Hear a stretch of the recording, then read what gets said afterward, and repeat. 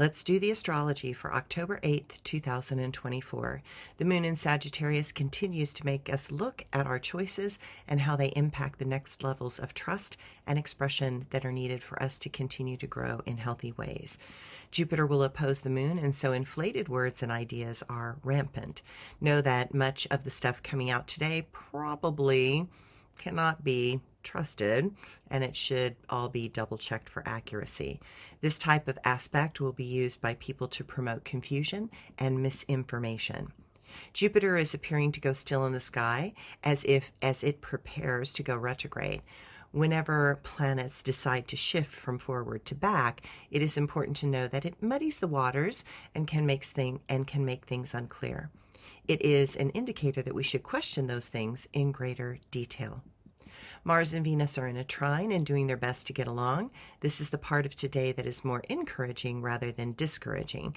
We feel as if we get back to into our own flow and recognize that to be a whole person, we need to find how to make our relationships flow, how to make work progress, and how to allow our creative side to have a constructive expression. Romance thrives, and we are willing to engage in ways that are more fulfilling with those that we love. Relationships bring out the best in us, and we strive towards mutual goals that will allow us to come together and find ways to share and become stronger. We feel as if we do not need to sacrifice our needs for the needs of others. Our confidence returns, and we begin to feel better on many levels. Use this moment to create bonds with family that matter and make a difference over time. A new side of us begins to come out, and we are very willing to take a more positive approach and see things from a higher perspective and overview. We want to clear out the old and bring in a new way of being. Many positive things begin to happen, and we are receiving lots of good news from many angles.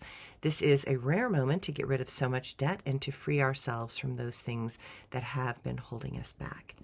Mercury and Chiron will oppose, and we have to be careful to not pretend we are someone we are not we need to recognize if something we are saying or doing is about to open us up to any forms of criticism. Try to see what others are doing as simple, simply as simple, sim, as simply different rather than wrong or bad. Don't make mountains out of molehills. There's enough drama in this world right now. On the opposite end, we cannot let rampant opposites, oppos, optimism take over either.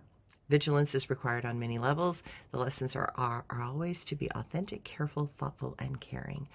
Today can feel like a push pull. Remember that many things will try to cause you to go into upset. Just don't let them. Never let others disrupt your own sense of peace. Thanks, everyone.